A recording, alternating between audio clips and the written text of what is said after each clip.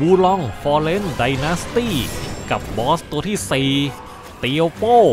จอมเวทแห่งกลุ่มโจรพวกผ้าเหลือง ถ้าเข้าไปก็โดนเวทไฟของมัน ถ้ายืนอยู่ไกลๆมันก็หายตัวมาหาอีก ตายหลายรอบแล้ว เจ้าชนะมันยังไงดีล่ะเนี่ย งั้นมาดู Easy Q วิธีจัดการเตียวโป้แบบง่ายๆ ต้องใช้วิธีนี้ ยืนรักษาระยะไว้พยายามแพรรี่เวทของมันให้ได้นะ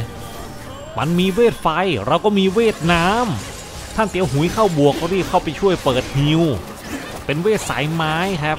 ทำให้เมื่อโจมตีศัตรูจะเป็นการเพิ่มพลังชีวิตให้เราท่าสีแดงมันจะมี 2 ท่า ท่านี้ยิงมาแล้วปัด เสร็จแล้วก็ปาน้ำแข็งไปรัวๆเลยด่านนี้เนี่ยเรามีผู้ช่วยทั้งเตียวหุยแล้วก็กวนอูนะครับรอสองคนนี้เข้าก่อนแล้วเราค่อยตามทะลวงไฟของมันเข้าไปได้แล้วก็ตีไปรัว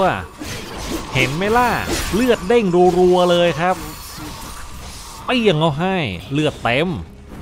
ไม่ต้องรีบร้อน รอเตียวหุยเข้า ถ้ามันยิงไฟมาก็รอแพรรี่ครับ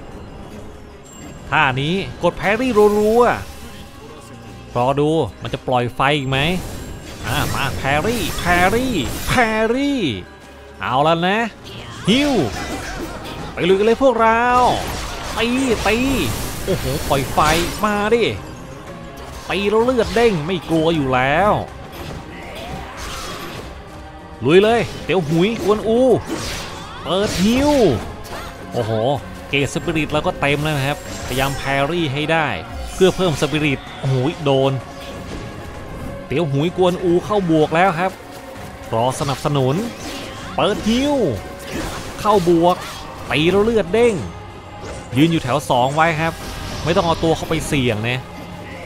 เอายังเอาแล้วนะ ลุมมันเลย เปิดก่อนเลยท่านเตียวหุยไม่ต้องกลัว เดี๋ยวฮิวให้ไอตอนที่มันเป็นตัวสีแดงเนี่ยต้องระวังเนี่ยเดี๋ยวมันจะต้องใช้ท่าสีแดงแน่แน่เน้นกันไว้ก่อน รอสวน หายตัวไปมา นี่ไงมาแล้วแพรรี่ มันจะหายตัวมาจับอย่างนั้นเหรอ นี่ล่ะมันใกล้จะตายแล้วครับเตียวหุยเข้าไปบวกแล้ว ตามเข้าไปใกล้ๆพอจังหวะที่เพื่อนตีก็เข้าไปฮิวโอ้ยเกสปิริตหมดโดน damage แรงจัดเลย เอาแล้วนะ มันใกล้ตายแล้วแต่เวลาปิดฉาก อัญเชิญกระสุนกิเลน ยังไม่ยอมตายเหรอ นี่แน่นี่ ตายซะ ไม่เหลือซากครับ งานนี้มีทั้งเตียวหุยแล้วก็กวนอูมาช่วย มันจะไม่ผ่านได้ยังไงแล้วเฮ้ย เจ้านะ่ะให้ข้าเข้าบวกก่อนตลอดเลยนะ